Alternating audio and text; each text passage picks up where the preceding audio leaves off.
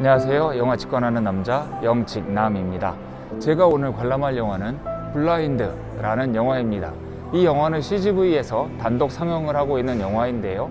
앞을 보지 못하는 주인공에게 책을 읽어주는 또 다른 주인공 여자가 있는데 주인공이 눈을 뜨게 되면서 또 이 여자가 그 주인공을 떠나게 된다는 그러한 내용을 다루고 있다고 합니다. 과연 어떠한 내용의 영화일지 상당히 로맨스 그리고 멜로 느낌이 나는데요. 제가 직접 보고 나와서 여러분들께 후기로 쪼로로 말씀드리도록 하겠습니다. 그러면 잠시 뒤에 만나요.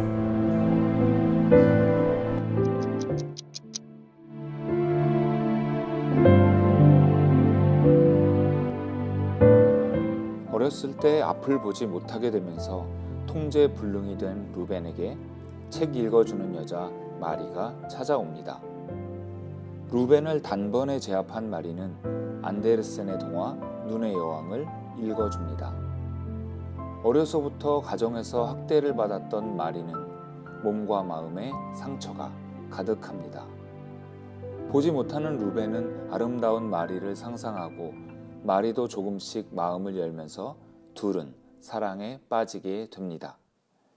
의학이 발달하면서 수술을 통해 눈을 뜨게 된 루벤. 두 사람의 사랑을 반대한 루벤의 어머니와 의사의 압력, 그리고 루벤이 상상했던 모든 것에 실망할까 두려워 마리는 루벤을 떠나고 맙니다. 눈을 뜬 루벤은 과연 마리를 다시 만날 수 있을까요?